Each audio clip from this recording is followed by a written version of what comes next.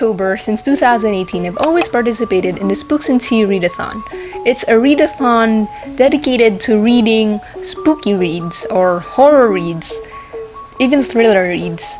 Since, you know, October is usually celebrated as uh, Halloween, although we don't have Halloween here in the Philippines, we still enjoy participating in the horror things every October. So for Spooks and Tea this year, we have again prompts to help us along on what to read.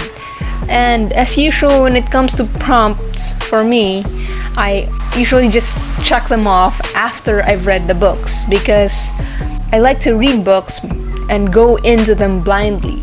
And I'll be showing you today on what books I plan on reading for October.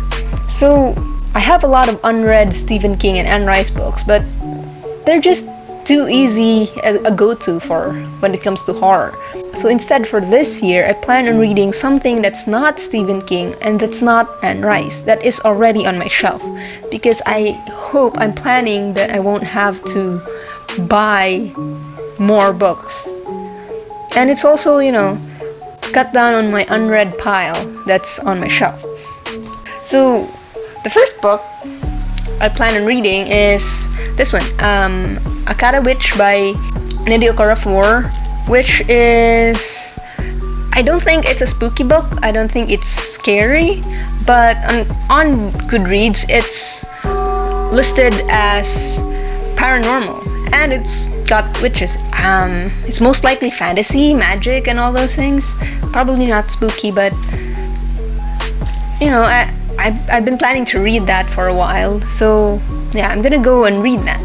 Then there's also this one, Something Wicked This Way Comes by Ray Bradbury.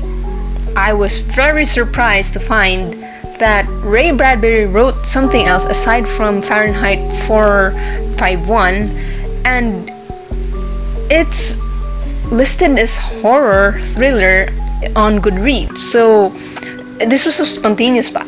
I I don't know what year I got that, but when I saw it in National Bookstore in the shelves of National Bookstore, I just I just bought it because you know I've never heard of it. No one I have not seen anybody talk about this book at all. And Ray Bradbury, I expected him to be a known name from Fahrenheit 451. And then I come across this one. I was very surprised. I I was looking for horror books that day. Whatever year that was. I was looking for horror books and I was very surprised to see his name on a horror book. You know, coming from Fahrenheit 451, I really did not expect a horror book from the author. Actually, I didn't even expect him to write anything else aside from Fahrenheit 451. But yeah, there's that. So definitely reading that for October.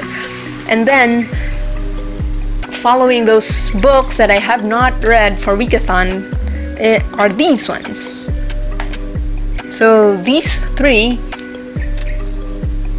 are comics. I think there's number four, number five. I'm not sure if there is still number four, number five, but these three comics is there is an English version and this one this copy I have is in Tagalog. And actually there's the black and white version. I think I like I like that one better but these are the ones that I that were available. So those are the ones that I got. I was supposed to read it for Weekathon but I didn't get the time and it arrived rather late. So yeah I hope I'll get to read that for October. They're short, so I most likely will read it for October. And also, uh, Trese has been recommended a lot for so many I don't know, over a year already. I keep seeing people, I keep seeing people recommending Trese over and over again. And so I hope I finally I'll finally be able to get to them this month. And then, of course, there's this.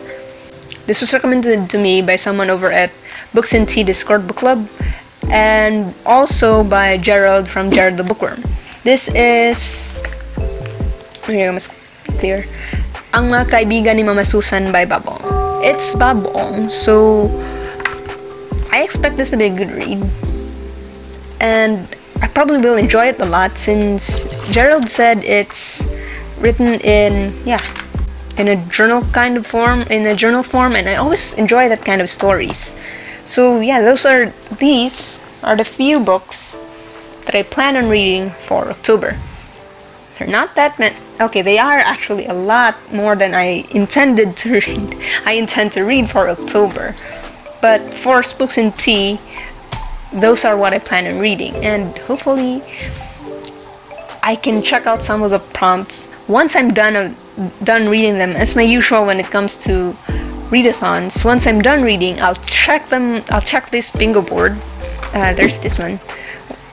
I'll check it out and cross out whatever I was able to read for the bingo board. It would be interesting to see because you know, since I'm going in blind, I don't know which of these will be included in my list. But there's that. So yeah. If you don't have any plans yet for October, then maybe you should join in in this Books and Tea readathon. Especially if you want a little push on what to read, having prompts and joining a readathon really helps in getting through um, a book slump or when you just don't know what to read. Yeah, having people tell you read this or look for a book like this, it really helps. So yeah, why don't you why don't you join in? And if you do plan on joining in or have books that fit into this Books and Tea readathon, um, leave a comment uh, or leave me recommendations on what other books that you think I should read for October, or what you think other people should read for Spooks and Tea. Because who knows, maybe I might break my book buying ban and read those books. And then I'll also link you to Allie made a list of movies, podcasts, books, and all other things that are related to horror in in a blog post. So I'll link that too if you want to, you know, feel the spooky vibes and go all out. Go ahead. I'm also going to definitely check out that list too because, you know, I'm gonna see. Maybe finally I can watch those movies this month. So, yeah, that said, see you next time.